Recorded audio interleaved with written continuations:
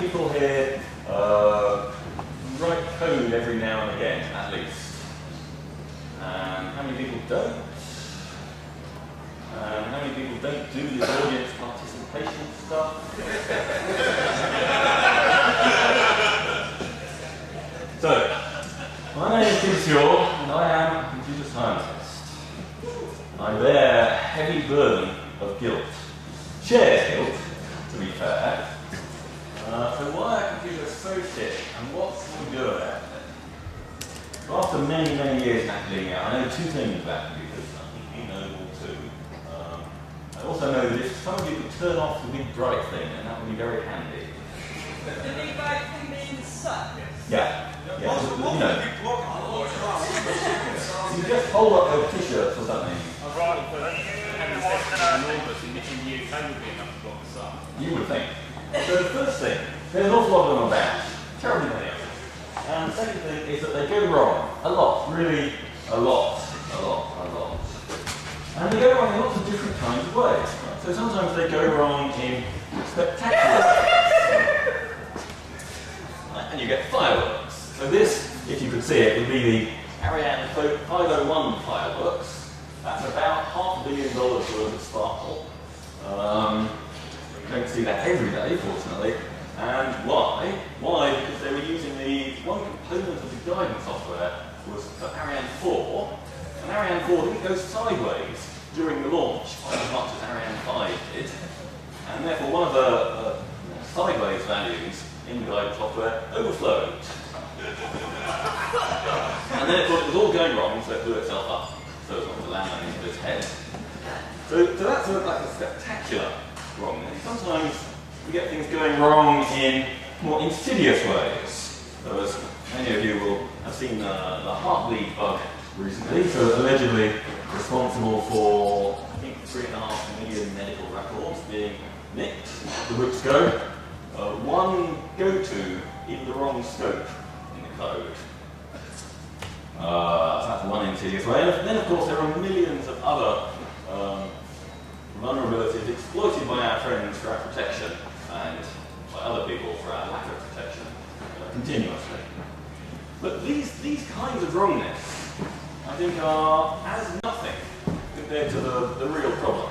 The real problem is the millions upon end of wasted human hours spent battling with these things. so it's hard to assess that, but what I did, you won't be able to see any of these slides, I'm sorry. People in the front two rows might want to go to the back so you can see. Um, so what I did was Google um, Android problem and Windows problem, and each of those gets something like 300 million hits. That, that's indicative of quite a lot of badness.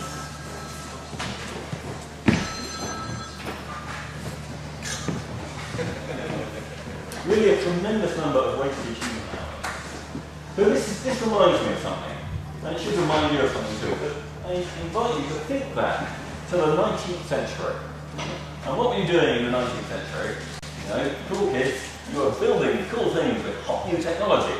This, uh, bridges. And we would make artful bridges with millions of towers and all of that kind of thing. And every so often they would fall down. And we would make magical steam engines. See a beautiful outline of a steam there. and every so often they would explode.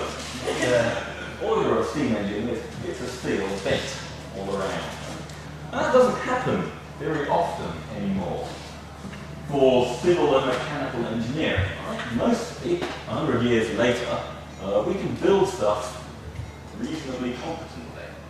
That mean? That means we know enough thermodynamics and material science and quality control management and other such things to predict whether our systems will work roughly as intended before we build them.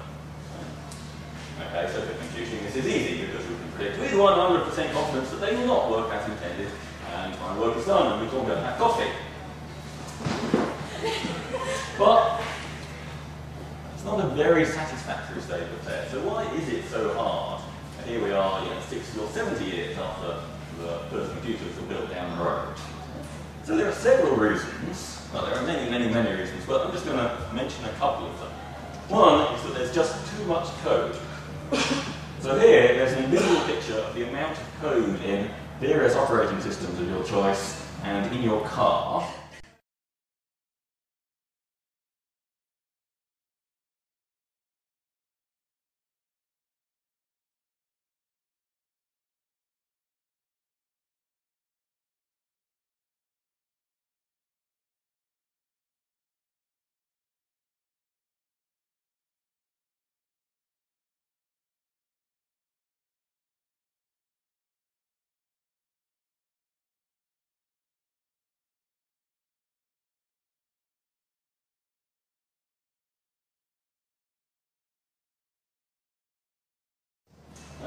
If you have a bit more familiarity with computers, you might think that's unrealistic, and maybe we would expect that this is a castle elegantly constructed out of wooden blocks. It's a bit more baroque, but it kind of hangs together conceptually.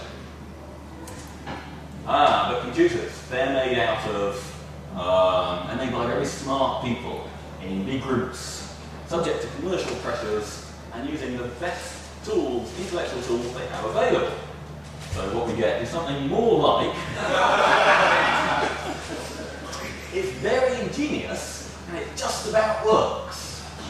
And you can see in here, I would point to all of the uh, plasma screens at the same time, but you just have to imagine that. You can see in this picture of garbage, down here there's like a, a pile of you know, hardware stuff and clear, clear elements, one kind or another. And over here there's maybe a C compiler with its intermediate phases. And over here there's a, a file system and a key stack and a JavaScript through and a piece belonging to the NSA about there. and a browser. And top is the stuff we use to talk about banks.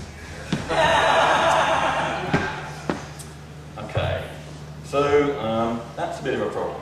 And then how we build these pieces? Well, we build them by trial and error, right? And we don't, we're not even very good at identifying the error. So we write some code and maybe some ad hoc tests, and then we test and fix until things are marketable, and then we test and fix more until uh, we're tired, and then we keep on using them until they don't work anymore. So, so this write some ad hoc tests and uh, marketing is how we explore whether the thing is doing what we want. And that is a basic problem because there are just ridiculously, insanely too many execution paths. Right? The number of execution paths of some code typically scales uh, at least exponentially with the size of it. And I refer you back to that 100 million lines of code. And you can start you know, getting a large piece of paper and writing down a number. Right? So that's a problem. And then the last problem is that these things are discrete systems, not continuous systems. Right? So if you take a bridge, or a bridge design, and you overspec, you know, or underspec one of the bolts by 10%, or you hit something slightly too hard with a hammer, on the whole, the behavior of the system will deform continuously, at least within quite wide ranges. And just occasionally it will go spectacularly wrong. But usually, a, big, a small error in construction will lead to not much change in behavior. But here, as we saw in those bugs at the beginning, a tiny change in that 100 million lines can make something exploitable and uh, useless. So they're intrinsically harder than. Okay, so what can we do? We can give up and go back to pen and paper and books. It's the way forward, I tell you. Go out and tell all your mates. EMF 2016, quill pen.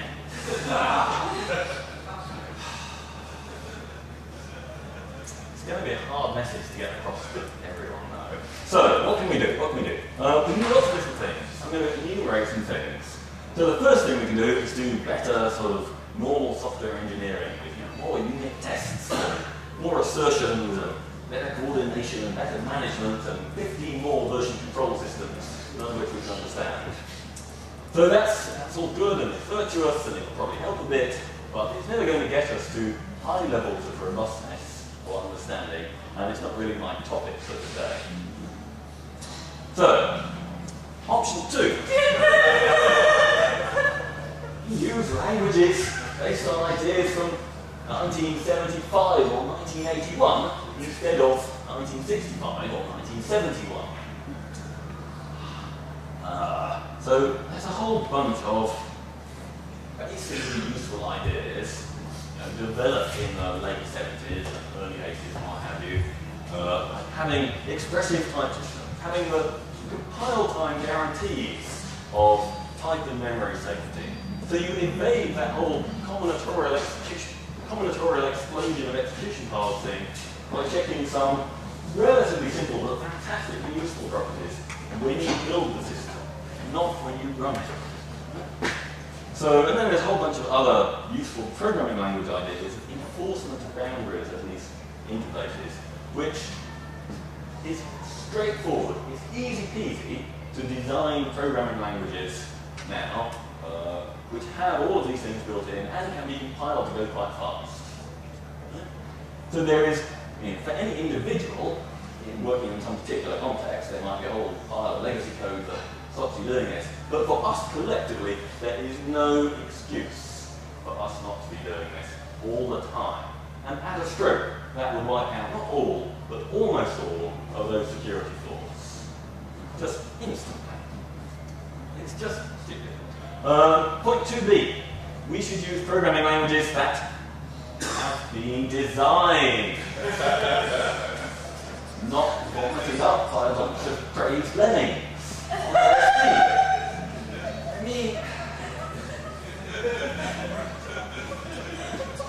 So as a, as a programming language research person, this is an intention frustration, because the reasons why languages become popular have a strong inverse correlation with how good they are and whether the people who invented them knew anything about designing programming languages.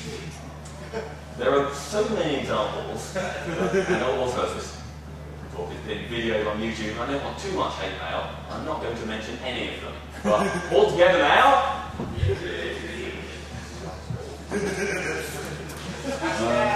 that's a bit feeble. Louder! PHP wins. BCPL! to be fair, not many people use exactly that anymore. Um, yeah, so, so there is a whole subject, you know, an engineering discipline of the design and analysis of programming languages. But a very good approximation, none of the people that design any of the languages that uh, people use know anything about it. Okay. Again, not something that some individuals can easily fix, but for us as a community, completely trivial to fix. Um, yeah, it's easy now, if you pay attention, to precisely define the semantics of a real programming language. You define, you can define how things can be typed or not typed, and how anything in any programming language behaves completely precisely, and then you can see your design decisions. And you can see when you're introducing stupid excess complexity in a way that if you just hack together some kind of implementation and argue about how many curly braces it should have, you cannot see. Okay, so I'm going to skip over option three, which is my main topic, and go to, straight to option, option four. So option four is prove correctness. Do make mathematical proofs that uh, software and hardware will actually meet precisely stated specifications. So this is a this is a long-standing um, dream and exhortation by academics. You know, in EMF 1972, you would have had Tony Hoare standing up on this stage saying, "We should prove correctness." By golly, with all his mates, you know, Edsger and um, lots of other guys. Um, so, so for a long time, academics have been saying this, and for quite a long time, it was not terribly plausible. I, mean, I remember back when I was a lad in some kind of university, laboriously proving that you know, if you reverse the list twice, uh, you get back to the same thing. How many people have proved that? You. Um, so for a long time, it wasn't super plausible, right? Because we couldn't scale it up.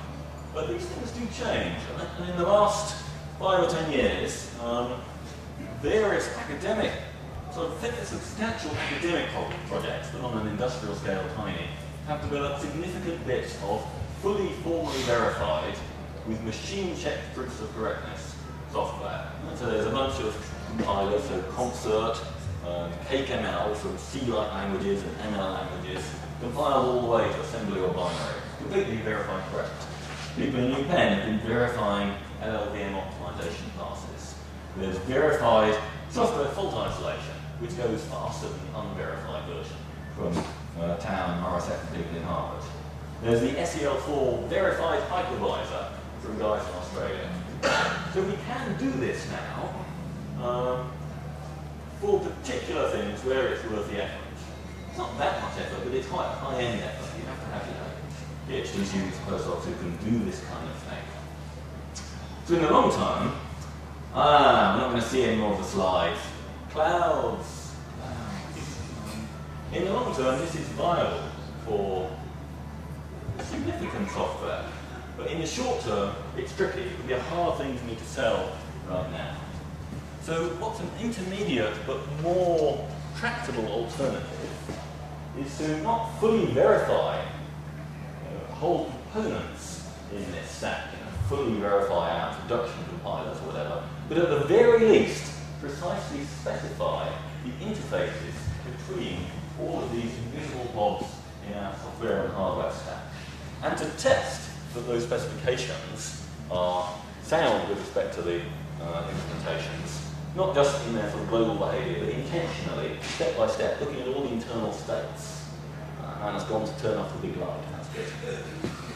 Um, so, uh, so my colleagues and I have been doing this kind of thing for the last few years. We've looked at TCP and at uh, various processors, x86 and ARM and Powerland, and uh, C and C++ concurrency standards, concurrency models, uh, standards, uh, CAML, and C language, and people now looking at the TLS stack, lots of kinds of things.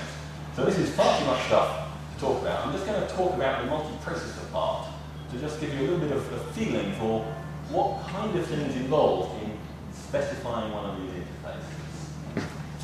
So let's look at uh, multiprocessors. Multiprocessors, um, simple idea is making things go faster, many processors talking to the same memory.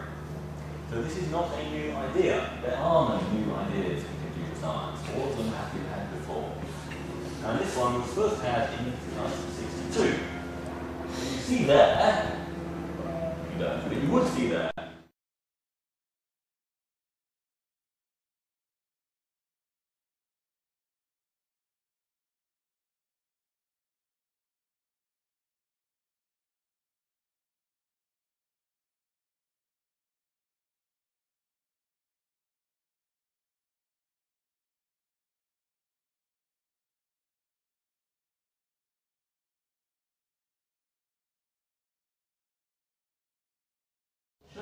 two programs, very small ones, each with two threads and two actions, two memory reads or writes on those two threads, acting on two memory locations.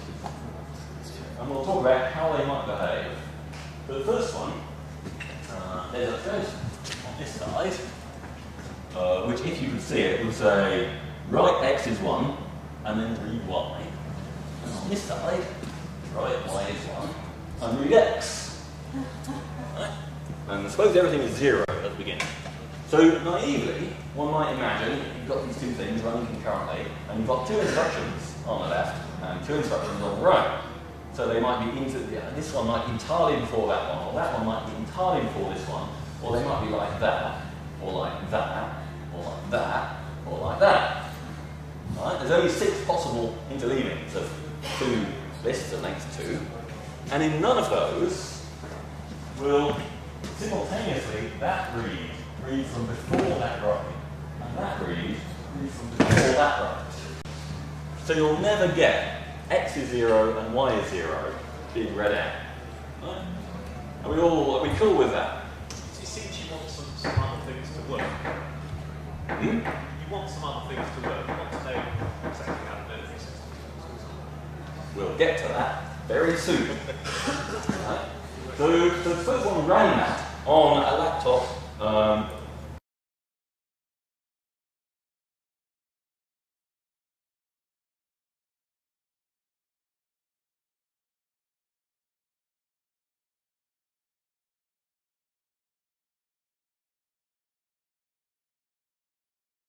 read one and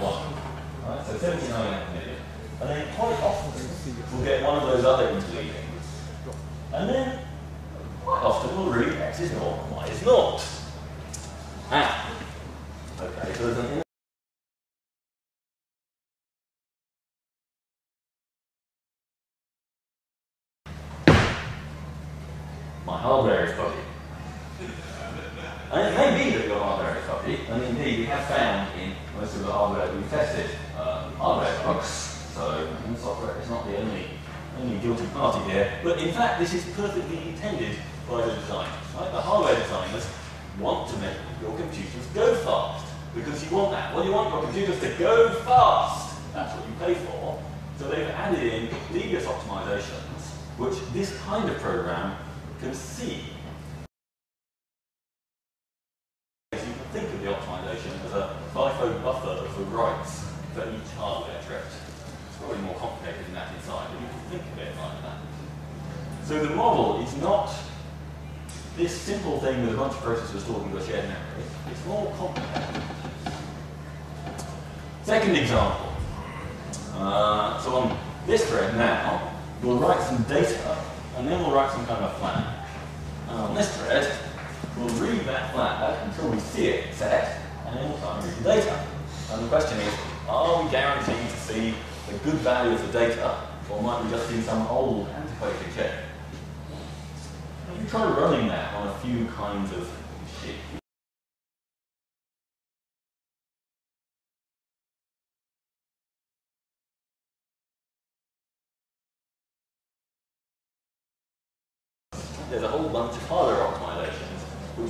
go fast and also use less power, which is important in the ARM case. They do. So if you, as an innocent programmer, want to make these things happen in order, which for some insert magic instructions, memory barrier instructions, they're called. And you might wonder what they do. So you might go off and take block sort vendor documentation and say, dear Mr. Dear Mr. IBM, what does this instruction do? And you would see some text like this. I'm going to start reading it out. For each applicable pair AB memory barrier ensures that A will be performed with respect to any processor or mechanism to the extent required by the associated memory coherence required attributes before B is performed with respect to that processor or mechanism. A, capital A, includes all applicable storage accesses by any such processor or mechanism that has been performed with respect to P1. For the memory barriers created, B includes all applicable storage accesses by any type and that are performed after a load instruction executed by that processor or mechanism has returned the value stored by store that is in B. Got that? So this is very deceptive, this stuff, because it looks like they've thought really hard about it and it means something precise that you just don't quite understand. And we thought that for a long time, and we tried to make mathematical models of this. But in fact, when you get to it and you do lots of experiments and you go and talk to the architects, which we do because we collaborate with a very smart and fine uh, IBM architect on this stuff, uh, you find that this does not describe what they actually do.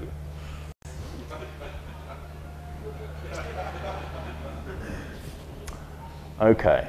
And if you talk to uh, architects about that text, they say this kind of thing. All that horrible, horribly incomprehensible and confusing text that no one can parse or reason with, not even the people who wrote it. And this was one of the people who wrote it. So, a misery, a misery, I say. Um, so there's a basic problem here, which is that these, there's a fiction in the industry that we can write prose specifications and say to programmers, just read this book and write your program assuming only the facts in this book. And then, well, then what do they do? They go away and they read the book and they don't really understand it because it is not comprehensible, it does not have a meaning. Um, and then they write their code by that trial and error development process by testing against the particular implementations that they have on the particular execution paths that they happen to explore. Right? So this is rubbish. Right? You can't use these prose specifications to test programs. You can't use them to test that the hardware does what's intended. You can't use them, certainly not to prove properties about anything. And as we see, you can't even use them to communicate between the organizations that are making the thing and the organizations that are using the thing. right, which is the basic thing a specification ought to be able to do. Right? So in this sense, none of these specifications really exist. It's all imaginary. It's a happy dream. So, what can we do? Um, I was raised up as an experimental scientist, and empirical science will come at least slightly to our rescue here. So, we can, indeed we have, invented some mathematically precise models of how we think these things behave. Not how they work inside, but just how they behave from the programmer's point of view. And then you can make tools that don't just calculate one path, but for these small programs, explore all of the possible executions. Right? And they give you the set of everything that is allowed. And then you can run experiments on those same kind of small programs uh, to compare, and then compare that experimental data to check that it's all, all the experimentally allowed executions are actually allowed by your model. Right? And sometimes they're not. So if they're not, then either you found a bug in the processor and you think, ha, we win, or you found a bug in your model and you get to fix up your model until it's true, and then you say, we win. Right?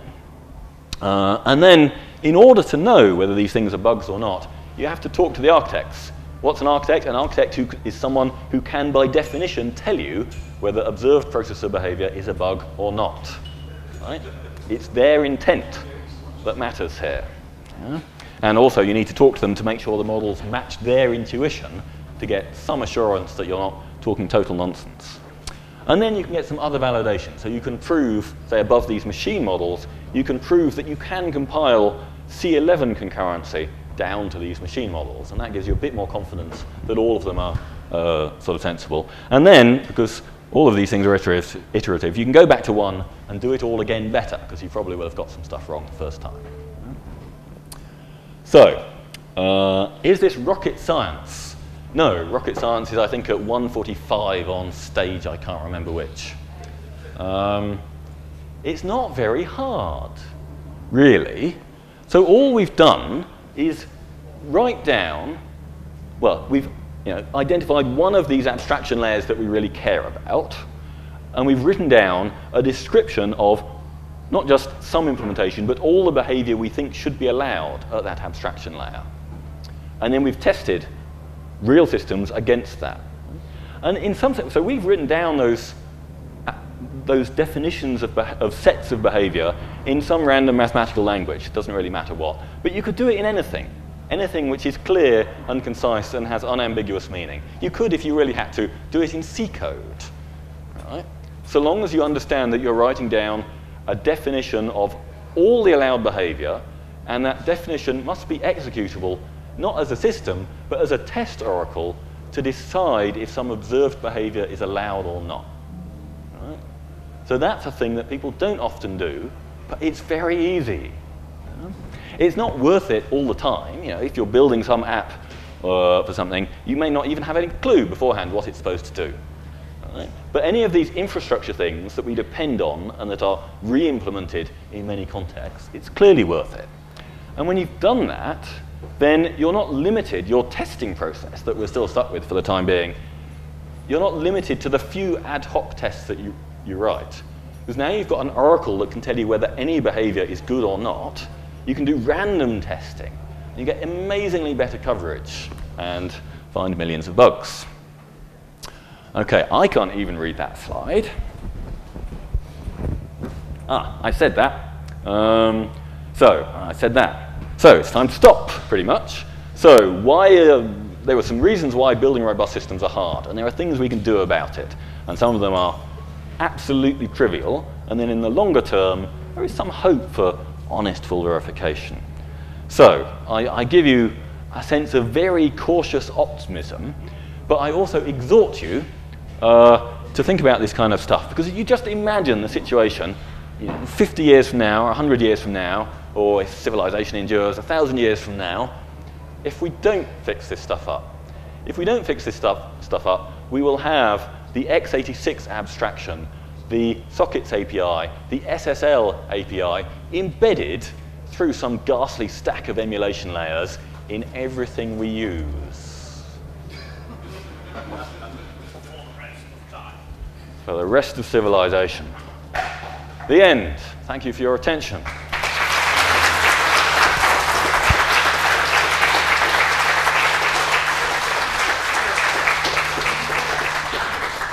If, if you've got any, any questions, any questions? Time for questions? A brief one. Oh, it's 15 minutes before the next talk. Yeah, but we've got. s- Yeah. Ah.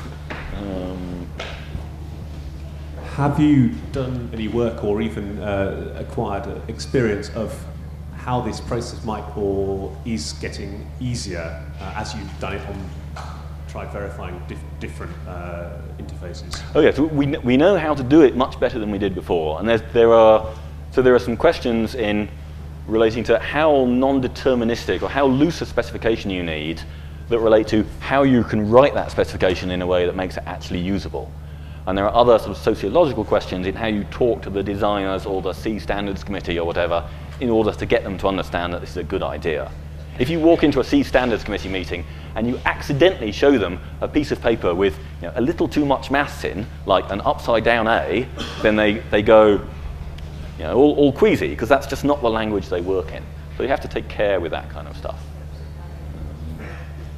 Any more quick questions? Quick question over there. Um, Um, I, I totally agree on the design uh, for, of the language, but I think most problem with most architects is not only construction architects want to build a cathedral, but every architect wants to build a cathedral. And they have to be really stubborn to come across the bureaucracy. So communication remains key. um, yeah, I Yeah, guess. okay. Yeah.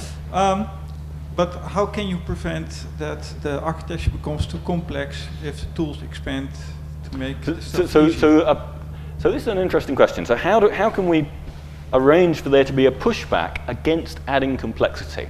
Uh, so that's really tough. But at least for programming language design and for some of these abstractions, the mere fact of writing down a clean specification sort of forces you to notice the complexity. right? Which otherwise, if you just have a textual language spec, it's very easy to just say, ah, we should, we'll, we'll add, we're going to add a new feature. We'll just chuck in a couple of paragraphs of text here. And that doesn't force you to understand how it interacts with everything else. right? So that, I mean, this is not a total solution. I don't think there is a total solution, but that does give you a feedback mechanism that we don't have at the moment. One behind you, behind you, behind you. Um, Do you believe there's much of a market at the moment for formal verification, not of the language of it itself, but of programs written in a language? Uh, a market, I think not much. I think there is potentially a significant market for, um, for some very particular systems infrastructure to be verified. Right? So if I had a verified hypervisor with a small trusted computing base running on my phone, I would be a happier man when I come to EMF camp. And you know, ind- industry wants that kind of thing, and there are some companies doing that. This SEL4 thing has some kind of commercialization route. No. Oh, no, there's another one there. Behind, behind, behind. Last one. Last one. So if um, PHP is the worst language of them all, which one would you say is the best? Um, so I resolved when I was thinking of giving this talk to not answer any question of that general form. And in some sense, I don't know. I'm not in a position to know. I don't write a whole lot of code. Right? Um, what I do, when I, uh, I and my group do, we use OCaml and Haskell and sensible, you know, functional imperative languages. They're very good for this kind of semantic infrastructure kind of work. In other contexts, I'm not going to comment. Okay, enough. Thank you.